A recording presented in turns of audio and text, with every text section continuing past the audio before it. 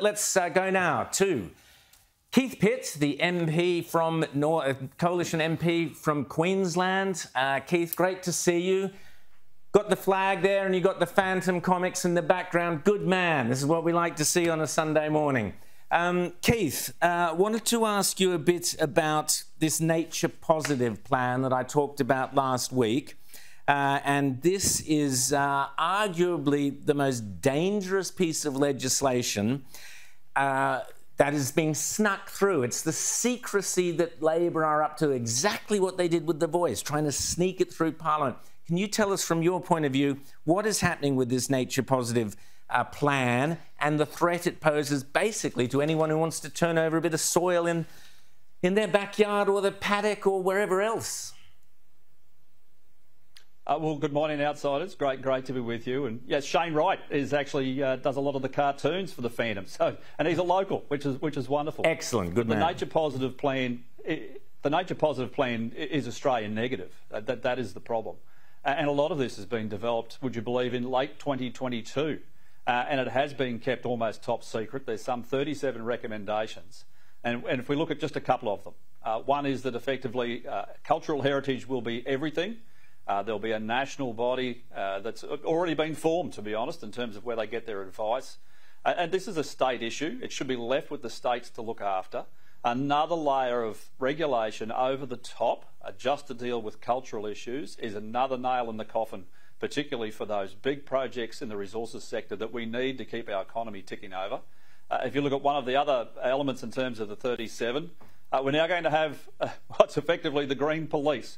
So you can imagine he'll be applying for that. You'll have green anarchists mm. with a badge, uh, able to stop projects, and force things, uh, provide fines, do all sorts of horrible bits and pieces. And you can still delay it through the courts. Well, unless you're in Victoria and you're a wind and solar farm, where they're changing the rules and those impacts won't be there and they're going to bypass it. But just for those types of projects, because, you know, not all projects are equal. But we, uh, you know, we need to ask the Labor Party and Tanya Plibersek, who's pushing this, you know, where where are all these so-called endangered species? Is there a map showing us where they all are? Is there a list of endangered species? Because when I waded through the uh, lengthy um, uh, Department of Energy and Environment uh, blurb about it, uh, they're very vague on the details, exactly how many species are at risk. Uh, they, they actually boast, Keith, that there will be more and more species. They're finding more and more oh, endangered fantastic. species every day, and they haven't given any indication of actually where these endangered species are. So I've drawn up a map, Keith. I don't know if you, this is a valid one or not, but here's where I think, there it is, all of Australia. All of Australia will come under the remit of this new endangered species, unacceptable impacts, critical habitats, etc. Do you think I'm being unfair to Labor? Uh, not, not at all. I think if you look at the map, that's what will apply, but there are some exceptions. Uh, and those exceptions are where you want to put big wind and solar plants because, well, they're exempt. Mm. Clark's Creek, for example, in Queensland, 3,500 hectares of koala habitat, but apparently they're not impacted there. They're only impacted when you're close to the cities or somewhere where the green anarchists can show up. Uh, and Queensland, they don't have to meet all of the existing development rules that everyone else has to. I'm, I'm told the reef regs, for example, don't apply. Uh, it's just ludicrous. Then you come back to, as I said earlier, what's happening in Victoria, where they're now going to exempt the processing uh, and planning proposals that they would apply to every other project so that it doesn't slow them down, so that those who are impacted don't have the normal routes to go and apply to courts. They've got to go to the Supreme Court. The Supreme Court. So not all projects are equal. Rita.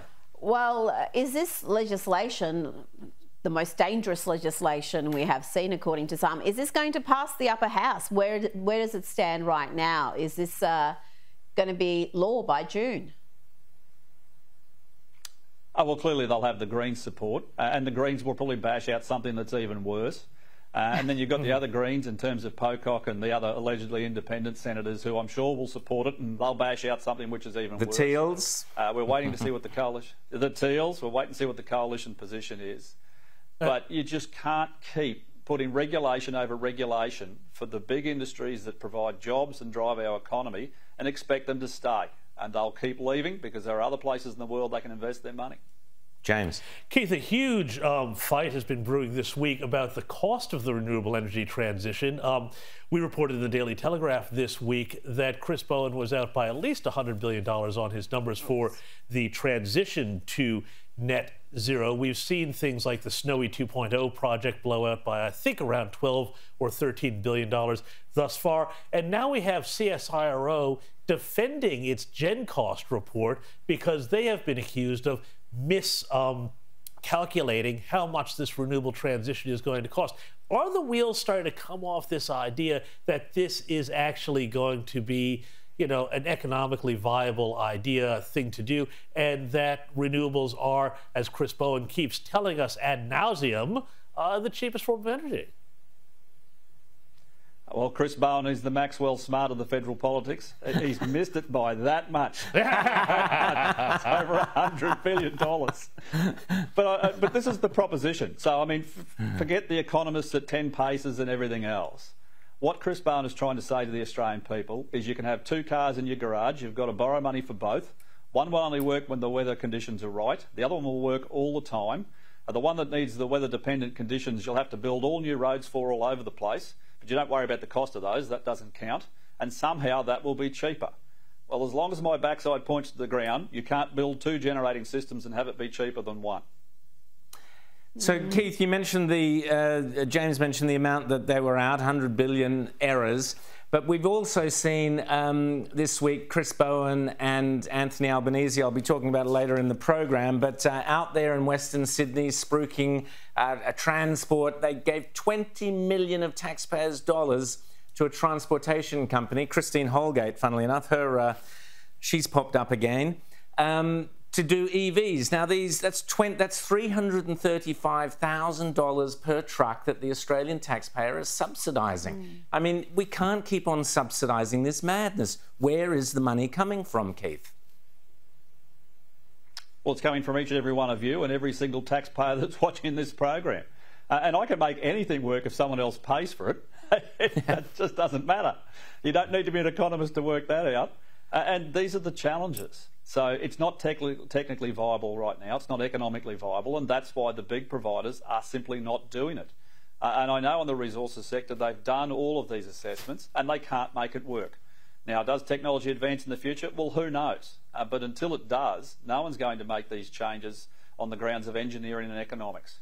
Uh, and then the environmental impacts down the track. What do you do with all of these batteries, which are incredibly dangerous? They burn very, very hot when there's a fire. There'll be significant challenges because currently I'm, I'm not aware of anywhere that can recycle them. And then what about the value of those assets? If you're a, a, poor Australian taxpayer that buys a new car, which is battery driven, and you go to trade it in and it's worthless, well, I don't think too many people will be happy about that, uh, and particularly their bank. And Keith, just quickly before you go, what did you make of the Queensland elections yesterday? And uh, wipe the smile off Giggles' face this morning, was it? Well, uh, Premier Giggles Miles has got the spanking he deserved, but it's mm-hmm. not going to change the current government. Uh, in October, the people of Queensland have to make that decision. It's a long way to go yet, uh, and we've certainly seen some changes in the mayoral race, uh, and, and, those who are rock solid Labor, uh, you know, Jenny Hill and others up in Townsville. I get on fine with Jenny. Looks like they're in trouble, and it comes down to two things: youth crime and housing. and the Labor government has failed miserably on both. Keith Pitt, great to chat to you as always. Thanks for coming on Outsiders this morning. Great to see you.